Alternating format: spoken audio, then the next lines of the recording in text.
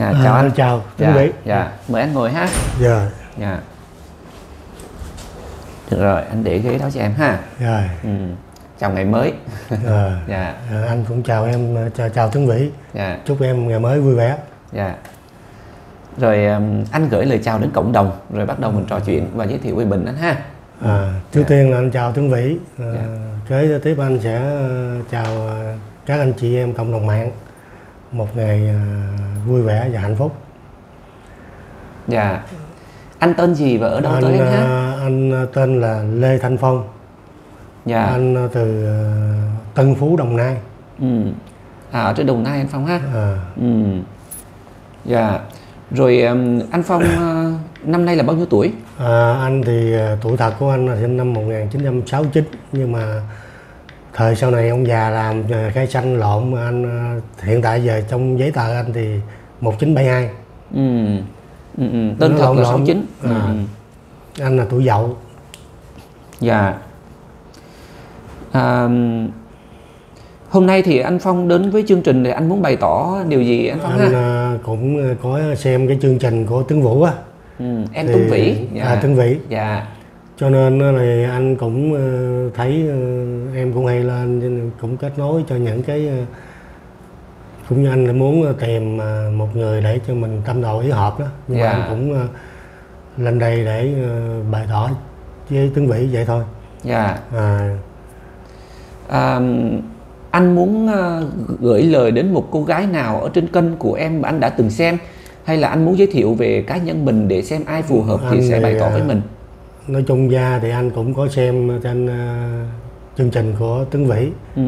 thì anh cũng có à, thích một người người đó là tên à, cô Trinh là Việt Kiều á À, chị Trinh anh- ha. à, Dạ. thì anh tới đây để thấy thì nói chung ra cô Trinh đó thì nói chuyện thì cũng hoạt bát vui vẻ thì anh cũng có chút mến nhưng anh thì là tài xế Dạ. nghề của anh thì tài xế Ừ. thì anh rảnh giỏi thì anh cũng hay xem kênh của Tính Vĩ đó Dạ. anh cũng thấy hình như là cô Trinh cổ có lên ờ, trên ờ, kênh là anh mới muốn để cơ- về kết nối ờ, với cô Trinh đó Dạ. à, Tuấn Vĩ có, thể ờ, Dạ. giúp anh được dạ em sẽ chuyển lời Dạ. có nghĩa là mình đang bày tỏ như vậy là em có ghi nhận hết Dạ. ừ, thì anh nói là nó vô trong này hết á À. à, cho nên là chị Trinh sẽ nghe được cái tâm tư của anh dạ rồi à, tình trạng hôn nhân của anh Phong thì thế nào? anh thì với bà xã ờ, đã nay là ba năm mấy bốn năm rồi. Ừ. dạ rồi anh Trung có à xin lỗi anh Phong có mấy người con hết? Anh đó thì ờ, bốn người con gái nhưng mà ba đứa lớn thì có gia đình rồi. Ừ. còn ờ, con gái út sinh năm 2002 thì là 20 tuổi rồi cũng đi làm công ty rồi vậy đó. Dạ.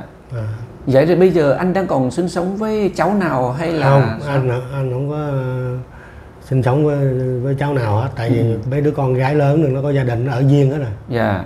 Còn gái út thì ờ, giờ hiện tại thì cũng ở chứ nhà vậy anh cũng đi đi về về thôi chứ cũng ít có ở nhà lắm. Dạ.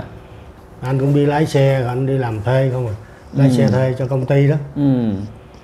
Rồi à, lâu nay thì anh anh làm chủ yếu là à, chạy về cái việc là chở khách hay là à, chở chở hàng? khách em anh thì ờ, đưa rước khách Phương Lâm Định Quán về Sài Gòn rồi đó À vậy anh ha. à, Ừ, làm cho công ty hả anh? à, chạy cho công ty Ừ. Công ty đó là công ty vận tải về hành khách hay à, đúng rồi em công ty Ừ. vận tải hành khách đó.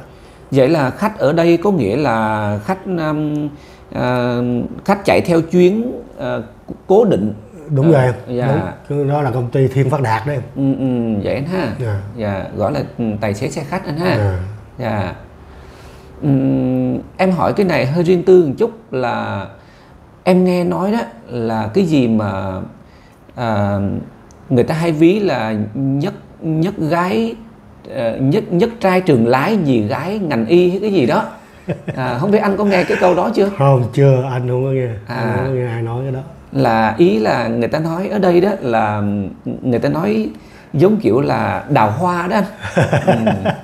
đào hoa rồi ờ, nói chung là được được ờ, tiếp xúc với nhiều người À. à, và gọi là về cái bên cái việc mà tình duyên tình cảm này kia đó nhưng thì ngày là xưa kìa em ơi chứ Dạ. còn bây giờ tài xế giờ khổ lắm bây giờ nói chung gia chạy thì nhiều khi ngày nào thì ăn ngày nấy cái thứ nhất cái thứ hai nữa giờ em lâu lâu cái em bị xảy ra cọ vẹt cái là là xong ừ, thành ra cái đời bây giờ thì em cũng hiểu rồi ừ.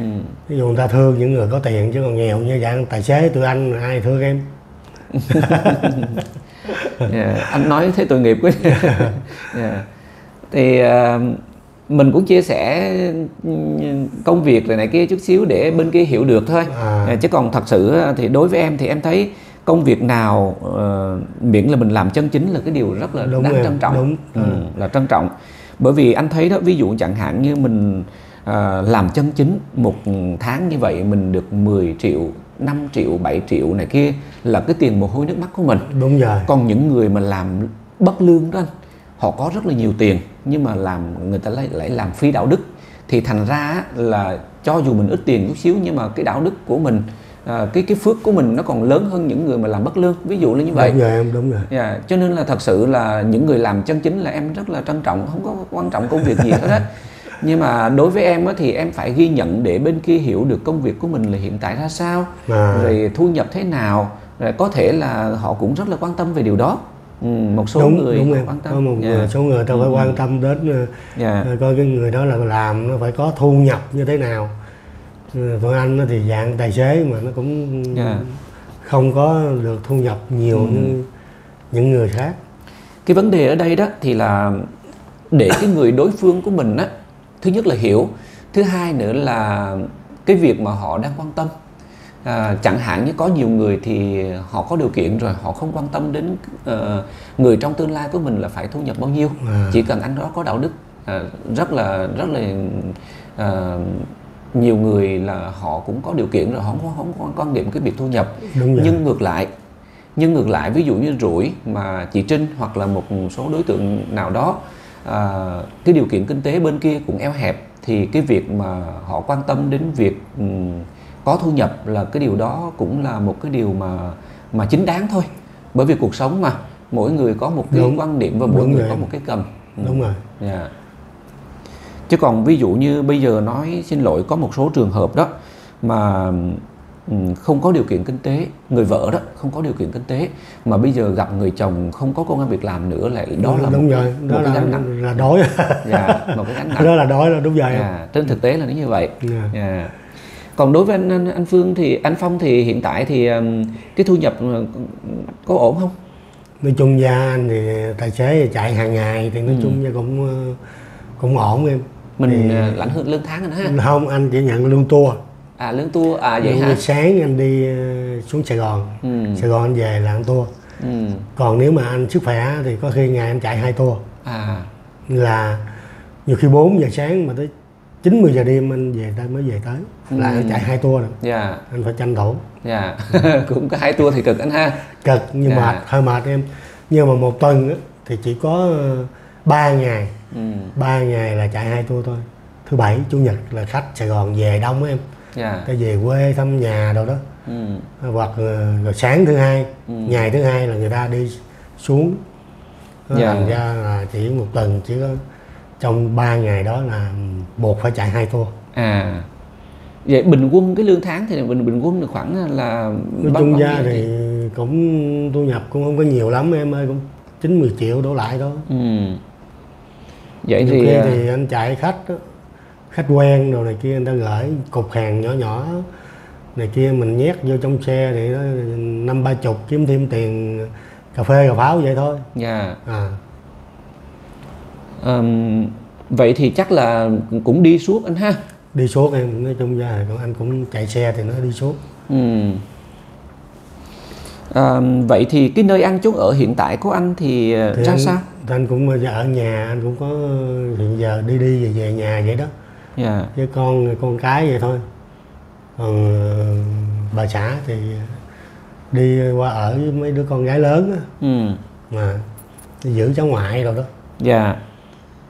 À, ý là anh ở riêng hay là anh ở cùng con gái anh? Anh cũng ở chung với con gái. Ừ.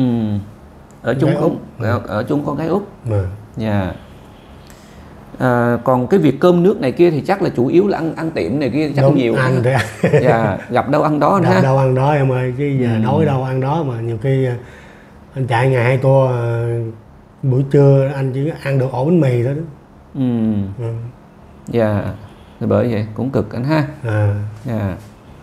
Nếu ví dụ như mà mai mốt mà lập gia đình mà người vợ có một cái công việc gì đó phù hợp thì anh có có nghĩ rằng là mình sẽ chuyển hướng làm một cái công việc gì đó nó nó đỡ bôn ba và có chứ. này kia? Có anh cũng có một cái Mong muốn ha. mong muốn lắm. Ừ. Nhưng mà tại vì ngày xưa tới giờ anh không có điều kiện tướng vĩ ừ. Mình lớn lên rồi mình đi đây đi đó lập nghiệp con cái lo. Sau này giờ con cái nó lớn lên hết rồi. Dạ. Thì bây giờ mình mới khỏe được cái khoản về con. Dạ. Không có còn lo về con nữa. Còn nếu gọi là để mà làm một cái công việc khác đó thì à, anh có khả năng à, để mình có thể làm công việc gì? Hay là anh đã từng làm việc gì chưa? Anh có từng đi mua bán ờ, trái cây. Anh thì nghề là mua bán trái cây em. À vậy đó anh ha. À. ừ, ừ. dạ sức khỏe này kia của anh Phong thì à, chắc tốt Dạ, ha ok. Em nhìn tướng anh thì em hiểu rồi. Dạ sức khỏe khỏe anh còn tốt. tốt lắm. Ừ. rất tốt. À, trò chuyện với anh thì em thấy có vẻ như là anh anh Phong ờm, giống giống người Hoa ha? Anh lai. À. À, tại vì à, bên vợ anh thì cũng là người hoa không? À. Mà bên vợ, vợ anh là ngày xưa anh gặp vợ. Ừ, bà xã người hoa không? Cho anh sống ở trong làng đó là là, là người hoa mà. Dạ. Cho nên là về nhà hay là hoặc ở xóm giềng thì anh cũng nói tiếng hoa. Ừ, ra ngoài thì nói tiếng việt vậy. Ừ, ừ. vậy là sáng nay thì anh đón xe từ ở trên thành anh phố đi hôm qua tiếng mỹ. Anh đi À. hôm qua tại anh đi bằng honda. Ừ, à, dạ. Anh ngồi 8 tiếng đồng hồ.